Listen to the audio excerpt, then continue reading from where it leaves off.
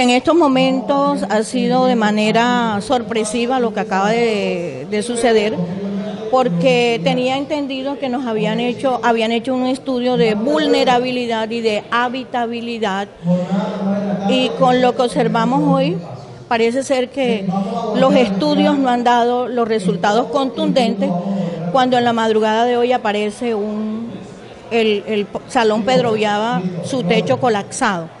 Yo creo que eh, debe tener un, mantenimiento eh, preventivo las edificaciones.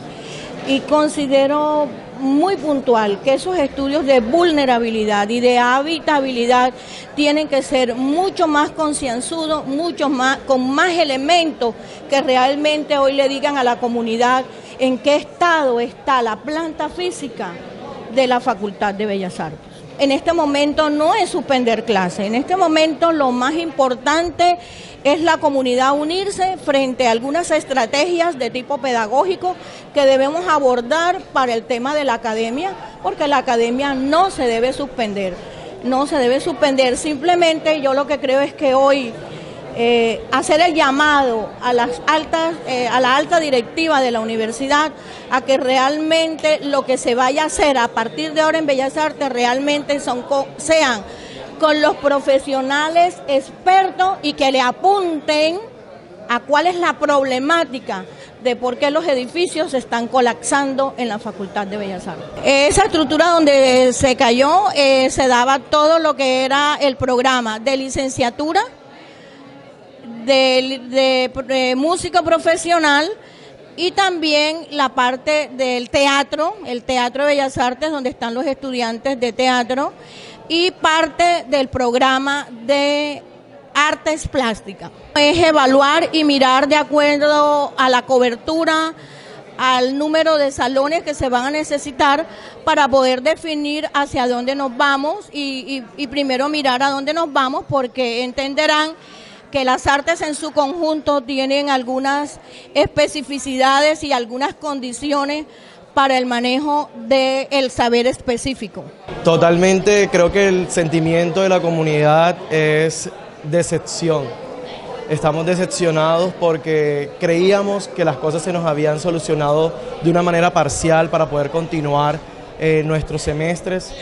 Lamentablemente, o mejor dicho, afortunadamente, volvieron a ocurrir los casos en las horas de la madrugada. Eh, el cielo raso del pabellón de música de Pedro Viaba, que había sido intervenido y que había sido reforzado, colapsó, se dio, se vino abajo en las horas de la madrugada y bueno, como decimos todos los estudiantes acá, nos volvimos a salvar. Y eso es lo que no queremos, no queremos volver a decir eso. Queremos estar seguros, los profesores, los trabajadores, queremos estar seguros del lugar donde habitamos 10, 8 horas.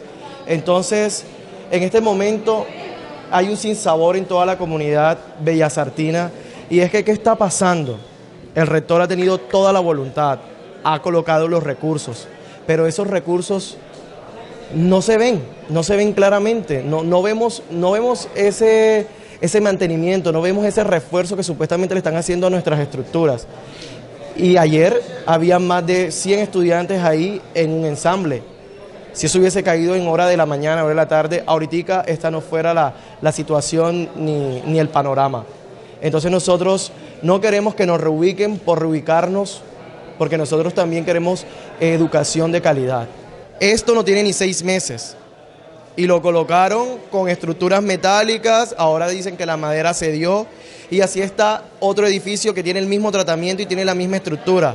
Entonces por eso los estudiantes hemos decidido no entrar a esos espacios hasta que se nos solucione, porque es nuestra vida la que está en riesgo, la vida de los profesores, de los trabajadores, de los estudiantes y también de los visitantes que llegan a Bellas Artes. Hoy no hemos hablado con el rector pero sabemos que estuvo en la facultad, ya está al tanto de la situación, ya su equipo está trabajando, pero queremos es que sí, está bien el trabajo, está bien toda la disposición, pero queremos que se haga de la mejor manera para que no tengamos que repetir, repetir la historia y, tengamos, y no tengamos que tener una historia triste en un futuro.